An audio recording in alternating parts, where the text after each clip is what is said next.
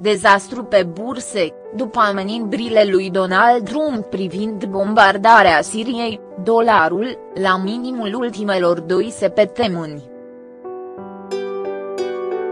Bursele globale sunt în secedere pe fondul escaladrii tensiunilor geopolitice, după ce președintele SUA, Donald Trump, a ameninat ce va bombarda Siria în replic la un presupus atac cu arme chimice al forelor guvernamentale siriene.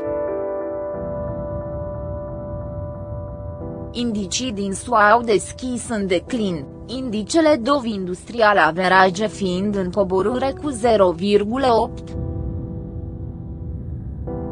Astfel, Dov a pierdut aproape jumătate din avansul puternic din Edina de Mari.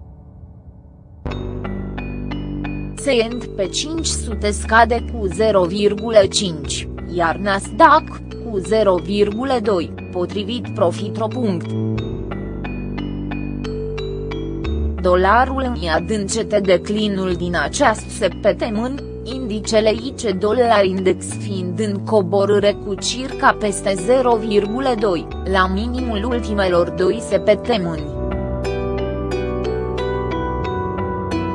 Moneda euro este în cretere cu 0,25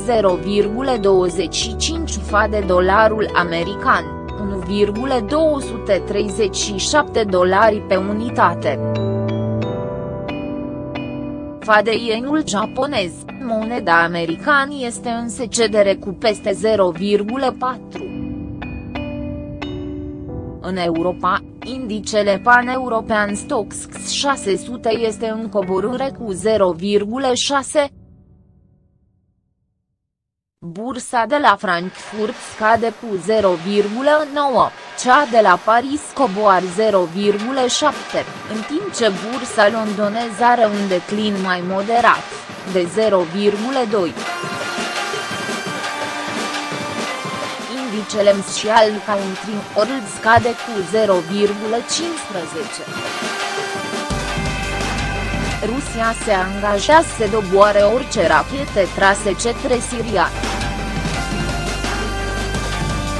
Pregătește Rusia, pentru ce ele vor veni, frumos, noi inteligente semnul exclamării voi nu ar trebui să fii partener cu un animal ucigător cu gaz care, îi omoar poporul se bucur de asta, scrie eful statului american. Pe lângă acest avertisment adresat Rusiei, Trump a criticat dur Moscova din cauza faptului ce le susține pe președintele sirian Bashar al-Assad.